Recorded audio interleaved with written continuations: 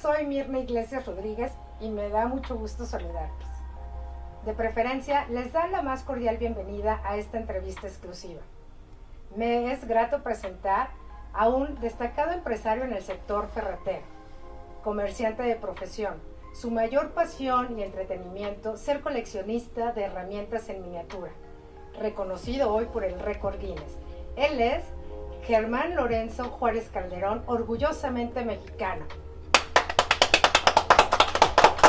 Germán, la verdad que estoy muy orgullosa y muy contenta de estar hoy aquí en, esta gran colección en donde vamos a conocer un poquito de cómo es que llegaste a esta gran, gran reconocimiento por el récord Guinness. Platícanos. Bien, Mirna, muchísimas gracias por estar aquí en las instalaciones de mi colección gracias a todo tu auditorio. Y pues sí, te platico mi colección, aquí la tienes, aquí está presente una parte. Eh, la inicié pues desde muy pequeño. Eh, te quiero mencionar que yo desde, desde traigo la, eh, la sangre, ya el ramo ferretero, porque mi papá fue ferretero desde muy pequeño. Entonces, desde entonces yo, desde que nací, pues ya traigo la sangre de, ferretero. Y desde muy pequeño empecé a tener contacto con las herramientas, porque mi abuelo también tenía una tlapalería en la esquina de donde vivíamos. Entonces era el paso de la escuela, de cuando yo salía de la escuela eh, primaria, eh, pasaba a ver qué se le ofrecía y, me, ya me cargaba un refresco o algo, y entonces estaba eh, se lo traía. Y después eh, de hacer mis tareas, en las tardes me gustaba irme con él y ahí empecé a tener contacto con las herramientas y me gustaron. Y empecé a conocerlas, sus, nombres y para qué servían.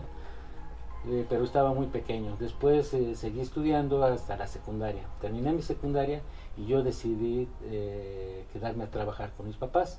Para ese entonces mi papá seguía trabajando en una ferretería muy importante en el centro y de la Ciudad de México y fundó una, una ferretería eh, aquí en la colonia Constitución. Y ahí es donde empecé a estar con mis papás, mi papá y mi mamá que fundaron la ferretería. Ahí empecé a tener contacto más con la, con la clientela y con las herramientas. Termino mi secundaria y me dedico a trabajar con ellos. Entonces lo que acostumbraban los proveedores a visitar a los, a los clientes es que nos regalaban algunas muestras de, en miniatura de lo que vendían o, este, o fabricaban. Y yo empecé a, guardarlas y cuando vi pues ya tenía algunas piezas este, guardadas. ¿Tú recuerdas cuál fue tu primera pieza? Sí, cómo no. Eh, la primera pieza me la regaló mi padre. Fue este, un un llavero precisamente en forma de perico, llave perico, de material en acrílico y de la marca CH, que era en aquel entonces Campos Hermanos. Ah. Sí.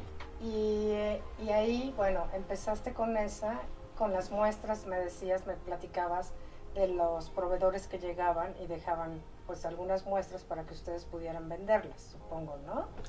O eh, te llegaban con el martillo ¿Y cómo hacías, eh, o cómo, cómo te dejaban el martillo en miniatura o cómo? No, no, o sea, sus, promocionales, eh, digamos, eh, fabricaban, por ejemplo, el bote de pintura, y hacía un botecito de pintura de llavero, y pues nos lo regalaban.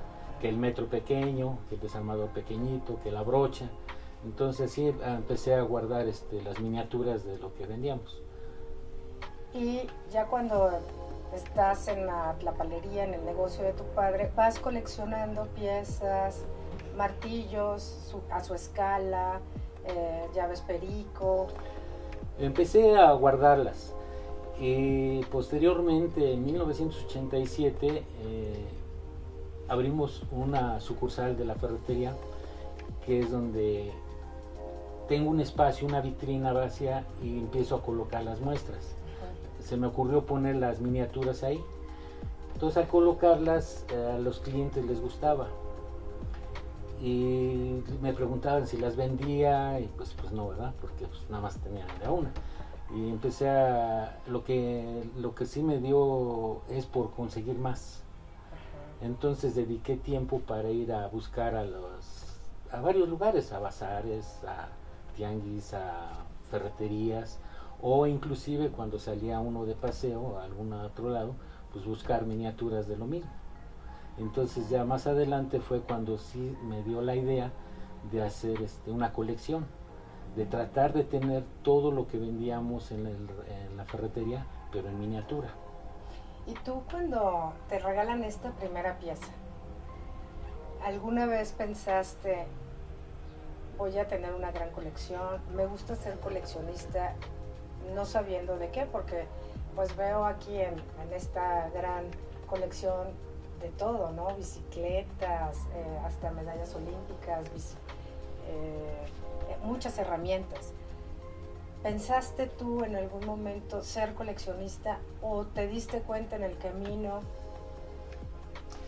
Sí, siempre desde muy pequeño también tuve el gusto de guardar este, los carritos. De hecho empecé a coleccionar carritos desde muy pequeño. Igualmente eh, mi padre me regaló dos carritos, en aquel entonces eran de la marca Matchbooks y empecé a guardarlos, empecé a, comprar más, a conseguir donde quiera. Ese sí quise hacer una colección. Pero después fue cuando la ferretería fue lo que era mi contacto de todos los días, pues entonces me enfoqué ya más a la herramienta. como te digo, quería yo tener todo lo que vendemos, pero en miniatura. Entonces esa era ya como ya en buscar, buscar lo que me faltaba para tener todo en miniatura. Oye, y platícame, o sea, tú veo muchísimas, muchísimas eh, piezas, seguramente algunas son únicas, no solamente de aquí de México, supongo de otros lugares, ¿no? ¿Cuál ha sido la pieza que más trabajo te costó conseguir o para ti todas fueron de una manera fácil de tenerlas.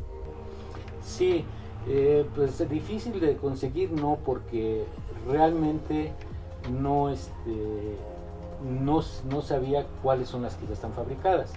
Entonces voy encontrando, así es como voy encontrando, no, no, no específicamente estoy buscando tal pieza. Eh, mi colección sí tiene piezas de 26 países de 26 países este, hay piezas de ahí. Obviamente de México, de Estados Unidos, de Japón, de Alemania, de Inglaterra, de, 26 países. O sea, quiere, quiere decir que en 26 países has estado. No, no, no precisamente. He tenido la oportunidad de salir a algunos países, en Europa, a Estados Unidos, a Canadá, pero no, no los 25 países. Lo que pasa que tengo de otros países porque eh, precisamente en las antigüedades es donde he encontrado los bazares de piezas eh, ya muy antiguas. Inclusive la colección también tiene piezas de más de 120 años. Tengo algunas aceiteras que vienen grabadas todavía con las patentes de 1895, 1898. Son unas pequeñas aceiteras que se ocupaban para eh, lubricar las armas. Entonces este, son muy pequeñitas y, vienen grabadas.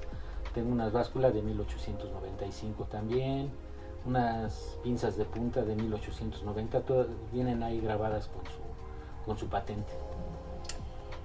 ¿Qué pieza es la que es tu favorita? O tu, que le tienes un gran cariño, un recuerdo. Pues fíjate que no, todas son, son favoritas, todas me gustan, todas este me han, me han hecho varias veces esa pregunta que cuál es la favorita.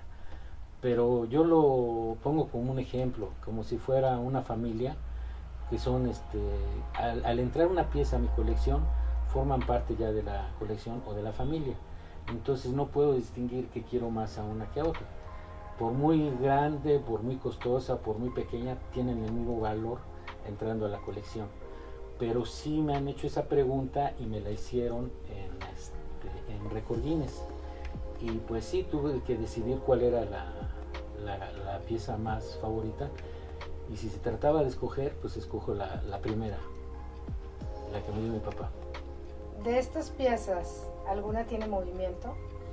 Sí, fíjate que ¿Usan también... gas, este, diésel? Eh, no, no precisamente, pero sí algunas de las piezas, casi la mayoría, tienen los movimientos reales a una herramienta original, que por ejemplo son las herramientas de mano, como una pinza, aquí tenemos una pinza, esta tiene los movimientos con una pinza, pues es una herramienta de mano. Las llaves, los pericos, esos tienen su movimiento manual. Pero tenemos herramientas que algunas trabajan con cuerda, otras con baterías, otras con corriente eléctrica. Inclusive tengo unas que trabajan este, con vapor, tienen su calderita de vapor, son alemanas y trabajan con, con vapor. Cada que adquirías una pieza única, no la tienes, es tu primera pieza, te haces en tu mente, creas el seguir y el seguir buscando otra para tener cinco, tres piezas más, o las veías las tres piezas y las adquirías, o cómo? No, sí, este... al, encontrar una pieza de ese tipo, pues te tratas de investigar o sabes que fabricaron otros modelos y entonces sí ya vas con la, mirada de, de, encontrarlas, ¿no? sabes, ya sabes que sí hay este, más modelos, más modelos. ¿Con cuántos obstáculos te has encontrado o te encontraste con mucho mm, dificultad para que te otorgara el, para que seas reconocido por el récord Guinness? Fíjate que en un principio no, este, no lo vi como con muchos obstáculos. Sí te piden, eh, es un reglamento que te, que te dan para que lo cumplas y pues traté de llevarlo a, cabo de todo lo que me pedían. Eh, te piden un inventario de las piezas, te piden un este, eh, fotografía de cada pieza, eh, un video de, pieza por pieza con un conteo, con una persona que en este caso fue un corredor público que certificara y diera fe de la autenticidad de las piezas y la cantidad exacta. Y te piden pues un experto en, herramienta, te piden, me pidieron eso, ¿no? Entonces yo lo, lo, reuní y lo entregué. Para mí yo dije, bueno, pues ya entregué todo eso. Pero eh, los primeros obstáculos que me, me, encuentro es de que me dicen, esta pieza pues, no van a pasar, porque las vemos muy grandes estas pues porque no son herramientas. Entonces en ese eh, tuve que quitar lo que eran los complementos. Nada más me pedían este, herramienta miniatura. ¿A qué, se ¿A qué se refería en la herramienta miniatura? Porque no existía la, no existía la categoría para Record Guinness. En toda la historia de Record Guinness no, nadie había presentado una colección de herramienta. Hay colecciones de todo menos de herramienta. Entonces, a la, a la al este al quitar las al, los complementos. al, abrir la categoría al abrir la categoría le pusieron el nombre de la colección más grande de herramienta miniatura entonces por eso querían pura herramienta entonces me encontré con ese obstáculo de tener que quitar todo lo de que eran complementos y volver a hacer otro inventario y acomodar las fotos como eran de, corridas de pura herramienta y el conteo nuevamente. Entonces ahí me encontré con esa dificultad. Eh, y pues este te llegaba el mensaje de, de Record Guinness eh, cada, cada dos meses, cada tres meses. Record Guinness, no, pues te solicitamos ahora una carta de esto ahora te solicitamos que nos quites estas piezas, ahora te solicitamos que hagas esto. Y para eso también fue eh, que no los filtros. Ahí fueron aproximadamente, yo creo que como cuatro filtros de adjudicadores, que en un principio me empecé a, a revisar las piezas una adjudicadora. Después a los cuatro o cinco meses otra. Y a los cuatro o cinco meses otra. Entonces cada una tenía su interpretación, interpretación diferente. Hasta que pude demostrarles también con un flexómetro, con una moneda y con este, una pieza de tamaño real, presentar las fotos para que vieran que eran totalmente miniaturas. Porque si sacas una foto de una carretilla y la pones en una hoja, pues no sabes si es una carretilla miniatura o una, una real. Pero tuve que demostrar todo eso con una carretilla grande, la carretilla donde la chiquita en la mano, y ya se veía la diferencia, una escalera, un martillo ponerlo con un flexómetro, una moneda y el, martillo miniatura. Entonces, este, así es como tú pude demostrarles que eran este, miniaturas y ya el resultado fue el récord. ¿Cuánto tiempo te llevó? Pues mm, desgraciadamente se, se cruzó eh, un año casi perdido de lo de por la pandemia, pero contando con todo ese año fueron cuatro años. Cuatro años. Cuatro años. Sí, este, porque es muy, muy tardado el proceso. Desde que uno hace la solicitud, eh, primeramente te dicen, van a tardar de, de 12 semanas para averiguar si había alguna colección o si alguien tenía algo parecido. Otros dos meses para que te manden el reglamento. Entonces ya iba medio año. Después te dicen, aquí está el reglamento, necesitas un inventario, el cual yo no tenía. Entonces empezar a hacer el inventario de pieza por pieza. Entonces seleccionar todas las piezas, anotar cómo se llaman, de qué material son, de qué país son, qué dimensión tienen y fotografiarla. Y todo eso lo, lo, así, lo hice a mano y luego pasar a la computadora y luego subirlo a la, a la plataforma. No, bueno. Sí, no, yo tengo ahí, tengo ahí mis carpetas, tengo dos carpetas grandes donde está el inventario por de las 6.326 piezas fue lo que inventaría en un principio. 6.000. Sí, pero yo estaba contando con todo lo que es relacionado a la ferretería y de ahí depurarlo a pura herramienta. ¿Cuándo te, ¿Cuándo te llegó la noticia? ¿Cómo te enteraste? ¿Vinieron? ¿Te hablaron? ¿Cómo fue? Todo es por medio de, de correo. Ajá. Eh, yo entregué la última información que me solicitaron, la entregué en febrero de 2020. Ajá. En febrero de, febrero de 2020. Y es cuando viene lo de la pandemia. Okay. Y en su y, Guinness en su página pone un anuncio que se cierra todo y ya no hay revisiones en ese momento. Y entonces pues... Se pierde el tiempo ahí. Se para todo. Se para el tiempo. Yo entregué en febrero, todavía hice un intento en mayo de escribir a ver cómo iba la, la situación, no me contestaron.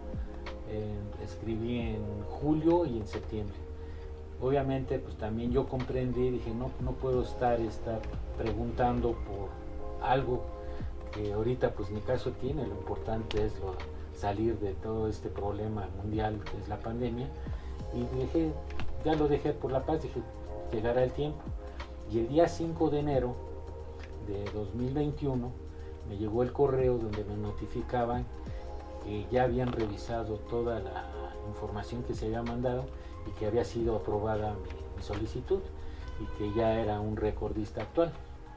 ¿Y qué sentiste? Dime, ¡ay, qué emoción! no, pues te ¡Ay, qué emoción, qué emoción! No, pues es una emoción que yo ya la esperaba, la deseaba, ¿no? Desde el momento en que empecé a hacer el trámite, pues sí, yo tenía esa ilusión de, de llegar a tener un título de, de Record Guinness, ¿no? Porque pues un coleccionista, pues creo que es lo, al título más alto que puede llegar ahorita. Claro o sea, ser reconocido por esta institución a nivel mundial. Ah, claro, claro, claro. Digo, Quizás a, lo mejor, a lo mejor hay este, algunas colecciones iguales o más grandes o más bonitas, pero pues no están dadas a conocer, ¿no? Pero yo creo que cada colección es, es única, ¿no? O sea, digo, la verdad es que eh, la tuya en particular eh, nunca había escuchado, he escuchado otro tipo de colecciones. Sí, hay de, todo. Y ya sabes, está el récord Guinness que otorga los reconocimientos al tamal más grande del mundo, X, ¿no? Pero en el sector ferretero, pues para mí esta colección es invaluable y es eh, pues, de muchos años. De muchos años, o sea, esto no, no nació... En 1974 pues, fue la primera pieza que me regaló mi papá. Desde entonces se puede considerar que es cuando empezó la colección. Pero sí ya de que me dediqué a, a conseguir piezas para agrandarla hace 33, 34 años. Es cuando ya decidí estar metido a estar buscando piezas. Eh, ¿Qué anécdotas recuerdas en alguno de tus viajes? Sí, gracias a Dios sí he tenido la fortuna de tener este a, mi familia, familiares, amigos que este, saben que colecciono y pues me regalan alguna pieza que ven por ahí. Eh, yo dedico un rato a la semana, dos horas a la semana, a veces los domingos son bien de semana, dedico a andar buscando piezas. Algunas que las encuentro deterioradas, pues las arreglo.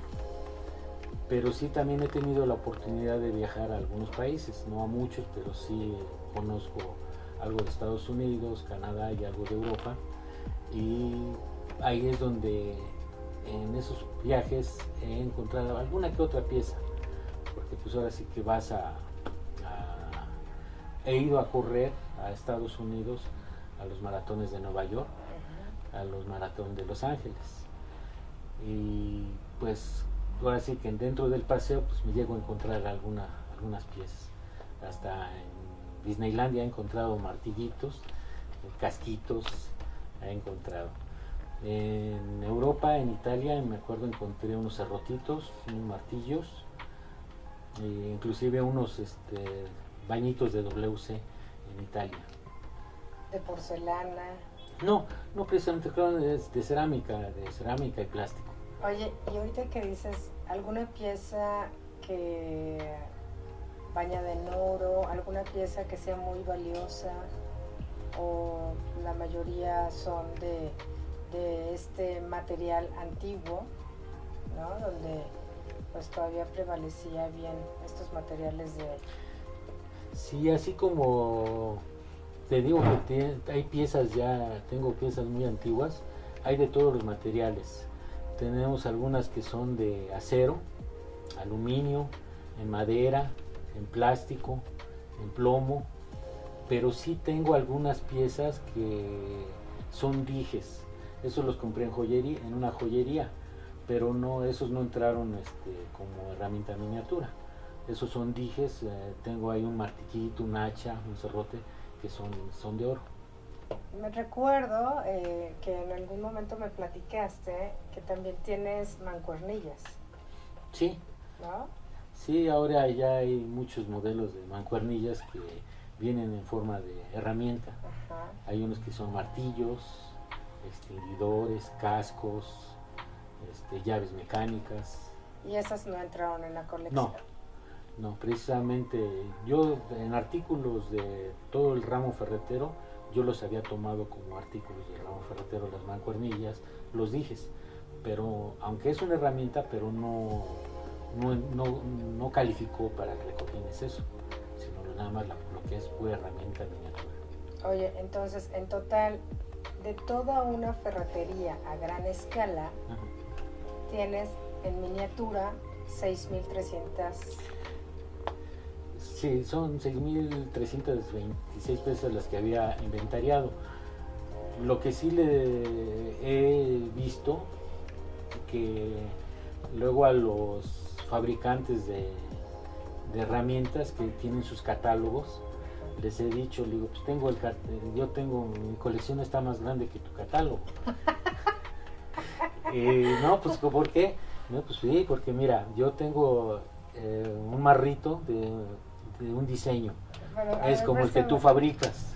Ajá. Este es de una fábrica. Ajá. Y hay otro, pero e, esta fábrica pues nada más fabrica ese modelo. Y hay otras fábricas que tienen su diferente modelo, el, el marro. Entonces, yo lo tengo diferente. Y así de marros tengo no, pues, pues, ya me di cuenta, o sea, son, ya todos son, por ejemplo, hay marca, estos son muy similares. Pequeñito, a ver, pásame el pequeñito. ¿Estos? Creo que este, ¿no? ¿El martillo? No, el marrito, no es este pequeñito. Ah, estos son martillitos de bola. Estos son unos martillos de bola.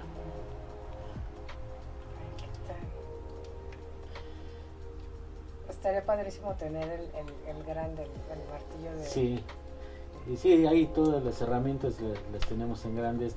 Entonces aquí, pues como te puedes fijar, eh, yo tengo marros de diferentes marcas. Lo que una fábrica, pues obviamente nada más tiene su, su marro, su modelo. Sí, claro. Entonces yo tengo más completo que, que, un, que, un, que un catálogo de herramientas. Porque tengo de diferentes marcas. No, pues la verdad es que es impresionante. Oye, ¿Y alguna vez has, eh, has pensado en que mm, podamos visitarte en alguna parte de la ciudad, un museo en la Ciudad de México? Pues eh, me gustaría hacerle una algún lugar para que se pueda visitar porque pues, vale la pena, ¿no? Sí, está muy completa, muy bonita y sí me gustaría este, darla a conocer más, pero vamos a ver este, qué se puede hacer para, para darle su lugar. Veo estas maquetas, están impresionantes. Platícame, ven, o sea, recorre conmigo. Claro.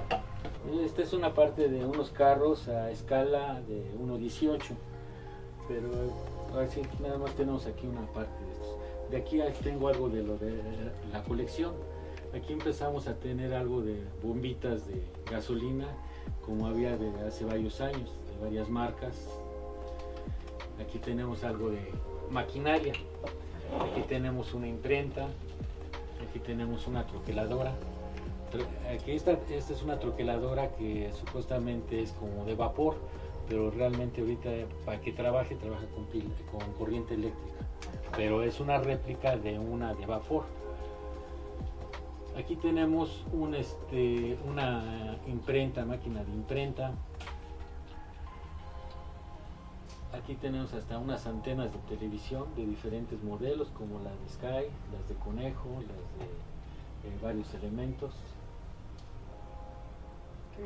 Aquí tenemos un, pequeño tallercito.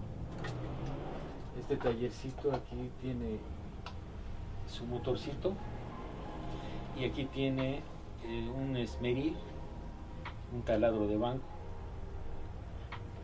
hasta su bote para la basura. Y este trabaja con corriente eléctrica. Y aquí eh, el, motorcito tiene hasta un pistoncito, que este empieza a trabajar el pistón y hace trabajar el, taladro. digamos que es una belleza. Sí, está muy, muy, muy bien hechicito. Como te decía, también tengo aquí, por ejemplo, este tallercito, este es, le llamaban que este es un juguete alemán Aquí también tiene cuatro herramientas, que es un taladro, un esmeril, una sierra y una cegueta. Y esta viene siendo su caldera. Entonces aquí se le mete el alcohol sólido, se llena de agua, se le prende el fuego, empieza a calentar y el vapor hace que trabaje, tiene su tubería y hace que trabajen las máquinas. Este es de Alemania. Aquí este, tenemos unas maquetas con herramienta pero muy pequeñita. Aquí se puede ver, por ejemplo, una, una maqueta donde están unos señores trabajando el azulejo y están pegando azulejo. Aquí unos de carpintería, donde se pueden ver ahí las herramientas. Aquí un taller, taller este, talleres mecánicos de hojalatería, de mofles, de electricidad, de una llantera. Estos son puros robots Eh, también esos no, no, entraron a la colección, pero digo al récord. Pero este, están hechos con tornillos, son muchos con tornillos que están relacionados con la, con la herramienta. Esta viene siendo una revolvedora de cemento también que trabaja con vapor. Esta es una podadora, esta es alemana también. Aquí tenemos unos sacapuntas muy antiguos, guantes de látex, muebles de baño, de, cerámicas, de, de, plástico, en diferentes escalas también. Ahí los bultitos de cemento con ladrillos. Aquí tenemos carretillas y diablos de carga. Pues regresamos acá, tenemos algo de planchas, también unas mucho muy antiguas, otras que tienen su cable también que eran juguetes. Acá tenemos los cepillos de carpintero. Estos son de latón, para ebanista, para varios cortes muy precisos, para rebajar la madera. Aquí tenemos algo de herramienta automotriz que vienen siendo compresoras, bancos de trabajo, eh, plumas para levantar los motores, los gatos, las torres. Aquí tenemos una serie de relojes que están relacionados con herramientas.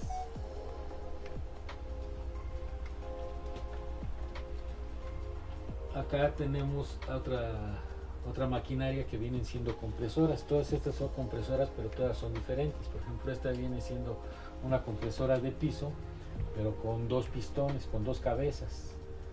Aquí está un taladro de banco con su motor.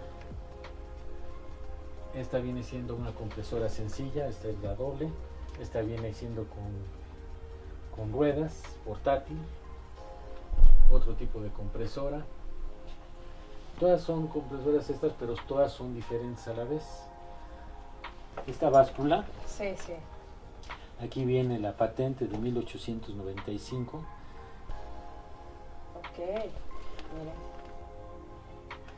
Esta es una aceitera, como de las que te decía. También con la patente viene acá grabada de 1898.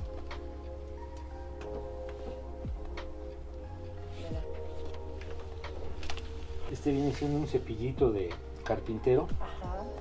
Una réplica muy exacta a un a un cepillo normal.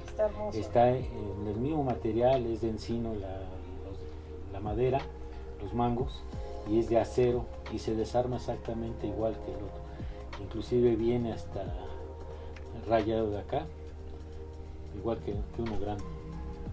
Esta es una llave de taladro. Ajá, claro, sí. ¿Para qué taladro puede ser? Sí, sí. Está muy pequeñita un cortavidrio de qué tamaño y, si corta porque es una navaja de, un cortavidrio normal esta es la primera pieza esta es la ah. primera pieza esta es la llavecita perico de la marca CH con esa iniciamos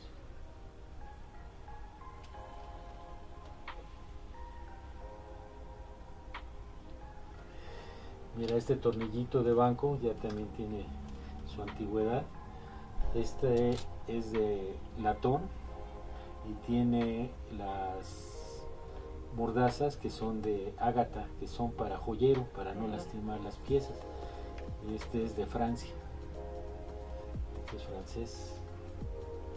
Mira un gatito para mecánico, para gato de patín, con sus valeros. Trabaja. Hermoso. De aquí eh, también tengo unas piezas, por ejemplo, este gatito me lo regaló eh, el señor Joseph Tamer, en paz descanse, el dueño de la fábrica de gatos Michels. Este me lo regaló él. Posteriormente el ingeniero Eduardo Tamer me regaló uno de patín. Este me lo regaló él. Inclusive, mira, aquí tengo esta Este, mira, aquí dice para Germán, es de Eduardo Tamer. Me lo mandó este. Aquí voy a poner esta. Me mandó este yunque. Este lo encontró en Argentina.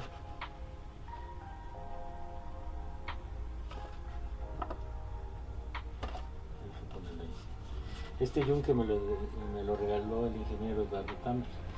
Él hizo un, viaje a Argentina, ahí me manda una carta donde me explica que fue de paseo, yo ese yunque se acordó de mí, Aquí tenemos una silla de madera, un talado de banco, un torno, una roscadora, perdón, esta es una roscadora, este es un torno.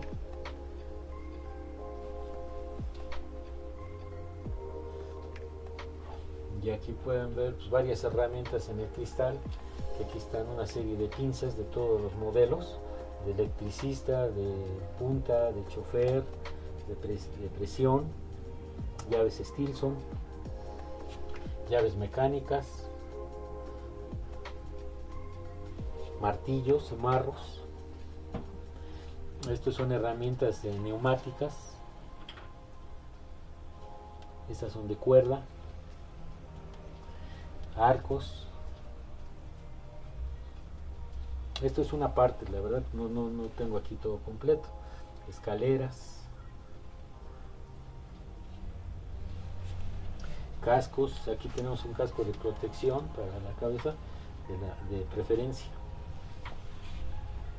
Esta pinza me la enviaron de la fábrica de herramientas Trucker un día de mi cumpleaños, porque esta pinza no está a la venta.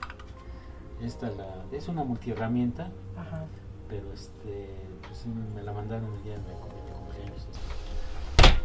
Algunas multiherramientas en miniatura.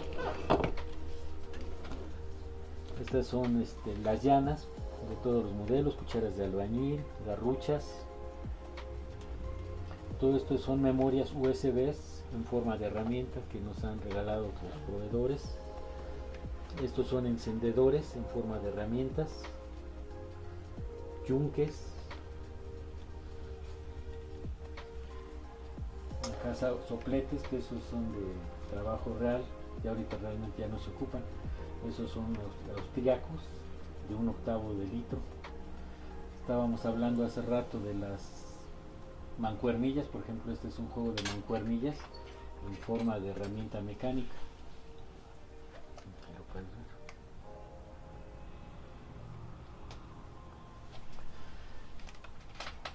Este viene siendo un este un calentador solar con su tubo de cristal, su tanque, su depósito, serruchos. Oye Germán, pues la verdad que he visto una, pues es muy extensa. muy, muy, extensa. y creo que nos falta más. Sí. O sea, nos falta mucho más. Ahí como pueden ver, ahí tengo... Sí, eso estaba viendo, en lo que tú estabas, a mí me estuve viendo tengo ahí, este, no sé quién, ahí tengo las cajitas como pueden ver, todas tienen un número, porque estas son, están clasificadas y así se presentaron con su número cada pieza para, el conteo. Tenemos ahí mucha, todavía mucha herramienta guardada porque no, este, no tenemos espacio. Oye, y después de que recibes el correo electrónico de la respuesta del récord Guinness, digo, sentiste tanta emoción. Sí, mucha. Y, y luego el reconocimiento, ¿qué te, qué te mandan? Pues sí, me llegó la noticia con el correo diciéndome que ya era era este, aprobada mi solicitud y que ya era récord Guinness actual y que en breve me llegaría mi, mi reconocimiento. ¿Y no los puedes presumir? Ah, claro que sí. A ver, enseña, presume. Presúmenos porque la verdad que es un gran reconocimiento. Es algo invaluable, tu colección está hermoso. Y 2.512 piezas. Sí. Ajá. Y fue el 14 de febrero del 2020. Esa fecha fue la cuando lo dieron por bueno cuando se presentó la se presentó el documento del experto de la herramienta, ese día fue cuando se, es cuando lo dieron por bueno. Ok. 14 de febrero, no se olvida, ¿no? No, no, no una fecha. una fecha notoria. Sí, pues es una satisfacción personal. Muy, este, pues estoy muy feliz, muy contento porque logré algo que quería. Claro. Y lo esperaba con mucho, desde hace mucho tiempo y este, y luché más por él porque eh, mi papá cuando me fui aceptado por Record Guinness que me iban a mandar el reglamento, mi papá todavía lo supo. Y este y le, dio mucho gusto y me dijo, este, hijo, qué padre que fueras tú, este, Record Guinness. Y al poco tiempo falleció. Entonces, este, pues, con más gusto, este, pues, traté de sacar. qué orgullo, claro, claro, claro. Pues la verdad es que esto es también un gran reconocimiento a tu padre, ¿no? Es, claro que sí. Te impulsó. Sí, él, este, fue mi maestro. Digo, lamentablemente ya no se puede disfrutar como tú quisieras, pero fue el pionero y a él también se le debe este gran reconocimiento. Claro que sí, todo se lo debo a él porque todo lo que sé, a él se lo aprendí. Claro. Él me lo enseñó y de él aprendí mucho del ramo ferretero. Le aprendí todo, le aprendí todo lo que lo que sabía. Ay, me vas a hacer llorar porque en este momento la verdad es que los sentimientos eh, son, pues, hay que expresarlos. ¿no? Hay que expresarlos y y la verdad es que ese amor que te dejó está reflejado en un gran título, en un gran reconocimiento, como es el récord Guinness. Y hoy eres un hombre reconocido en el sector empresarial, reconocido a nivel mundial por esta gran colección de herramientas en miniatura. Sí, muchas gracias. Sí, te digo, todo se lo debo a él. Y pues de parte de nosotros, de parte de la revista de preferencia, eh, nuestro director fundador, el licenciado Sergio Iglesias, también te da un reconocimiento, te lo voy a, te lo voy a entregar a nombre de él por motivos de del tema de, de la pandemia. Pues bueno, estamos ahorita un poco este en casa y dice, en esta casa editorial otorga el reconocimiento de preferencia a Germán Lorenzo Juárez Calderón por lograr el récord Guinness en su invaluable colección más grande de herramientas en miniatura en el mundo. Lo firma el licenciado Sergio Iglesias Rainel, director general. Y aquí dice, el viaje de mil millas empieza con el primer paso. Claro. Muchísimas gracias. Les ah. agradezco mucho su visita y pues este reconocimiento.